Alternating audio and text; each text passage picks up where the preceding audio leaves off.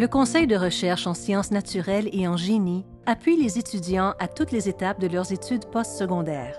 Cette vidéo vous permettra d'en savoir plus sur les programmes que le CRSNG propose aux étudiants du premier cycle. N'oubliez pas qu'il s'agit d'un simple aperçu. Pour obtenir plus de détails, vous devriez lire en entier la description du programme et les instructions relatives à la présentation d'une demande. Pour présenter une demande de bourse de recherche de premier cycle du CRSNG, sélectionnez Service en ligne dans le menu latéral gauche de la page d'accueil du site Web du CRSNG ou cliquez sur Ouvrir session dans le coin inférieur gauche de n'importe quelle page du site Web. Nous vous recommandons fortement de consulter les instructions pour remplir le formulaire 202, Demande de bourse de recherche de premier cycle. Pour avoir accès aux instructions, il suffit de cliquer sur le lien Formulaire en format PDF et Instructions générales. Rappelez-vous que la présentation en cours donne seulement un aperçu de la façon de remplir le formulaire. Elle ne couvre pas tous les détails qu'il faut connaître. Si vous avez des questions auxquelles vous ne trouvez pas de réponse dans notre site Web, communiquez avec le service de dépannage des services électroniques du CRSNG. Si vous êtes déjà inscrit, ouvrez une session.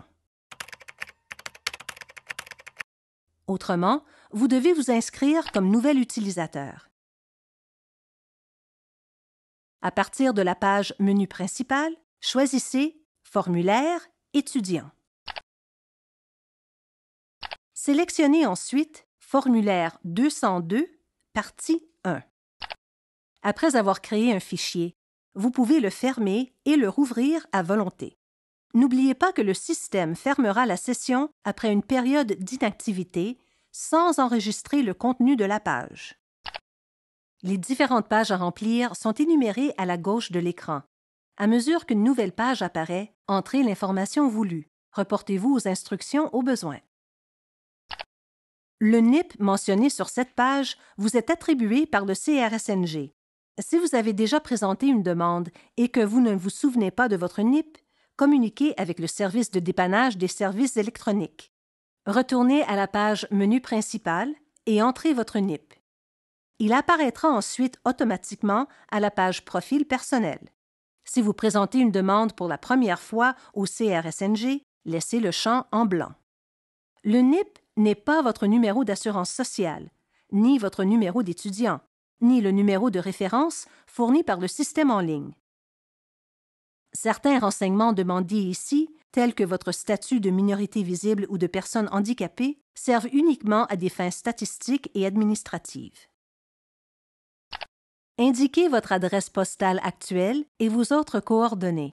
Il est très important d'informer le CRSNG de tout changement par téléphone ou par courriel toute mise à jour que vous faites au moyen du système en ligne après avoir présenté une demande ne sera pas associée à cette demande. Au moment d'entrer les renseignements sur votre formation universitaire, n'incluez pas les programmes que vous n'avez pas encore commencés. Dans cette page, énumérez toutes les bourses que vous avez reçues par le passé, y compris les bourses antérieures du CRSNG. Indiquez les relevés de notes que vous présentez. Vos relevés de notes, ainsi que la légende fournie par l'université pour chaque série de relevés de notes, doivent être numérisés puis téléchargés en un seul fichier combiné. Ils doivent être présentés sous forme d'un document en noir et blanc et, dans la mesure du possible, en format portrait. Vous ne devez inclure que les parties de vos relevés de notes qui se rapportent à votre dossier universitaire. Si votre demande est retenue à l'issue du concours, il se peut que l'on vous demande de présenter des copies officielles à des fins de vérification avant que vous ne vous prévaliez de votre bourse. Si vos relevés de notes ont été rédigés dans une autre langue que le français ou l'anglais, vous devez fournir une traduction certifiée. Vous aurez alors terminé d'entrer les renseignements se rapportant à vous-même. Sélectionnez Portfolio dans le menu pour continuer. Prenez soin de noter le numéro de référence qui a été attribué à votre demande. Vous devrez le fournir au directeur de travaux ou à la personne ressource de l'organisme d'accueil pour qu'il puisse remplir la partie 2 de la demande. Cette page vous permet de vérifier que la partie 1 de votre demande est complète. S'il y a lieu, corrigez les erreurs indiquées dans le rapport de vérification et vérifiez l'information de nouveau.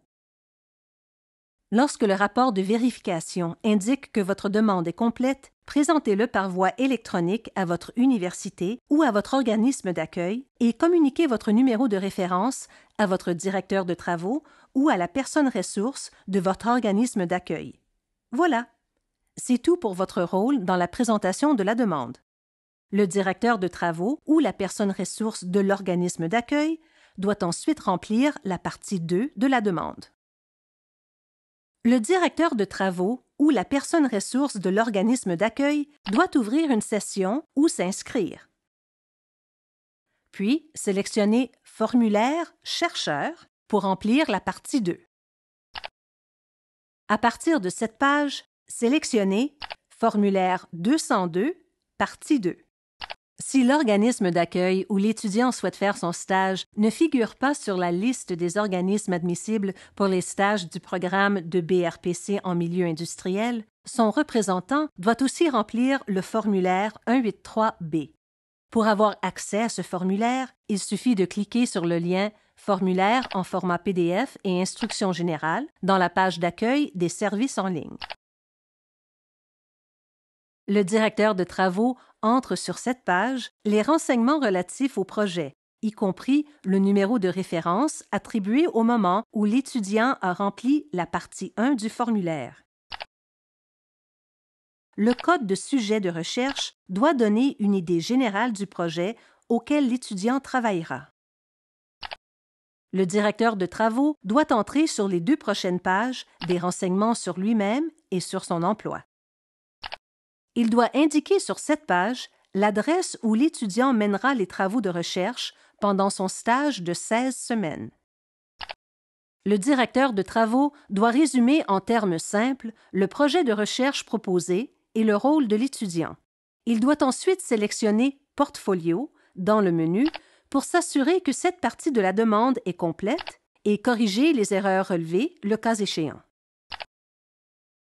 Pour terminer, le directeur de travaux à l'université ou la personne ressource de l'organisme d'accueil doit se rendre à la page Mon portfolio et sélectionner Vérifier afin de s'assurer que tous les renseignements requis ont été entrés. Une fois la vérification achevée, le statut de la demande passera à Final. Il est important de noter que le CRSNG n'acceptera pas de changement à la demande une fois qu'elle a été présentée. Le directeur de travaux à l'université doit présenter le formulaire à l'agent de liaison des BRPC de l'université en sélectionnant Soumettre à l'agent de liaison. L'agent de liaison des BRPC présente ensuite au CRSNG par voie électronique les demandes sélectionnées par son établissement pour recevoir une bourse. Les demandes remplies des organismes d'accueil doivent être présentées par voie électronique au CRSNG uniquement par la personne ressource désignée de l'organisme en sélectionnant Soumettre au CRSNG. Si vous avez des questions, consultez les instructions ou d'autres documents affichés dans notre site Web. Vous pouvez aussi communiquer directement avec nous.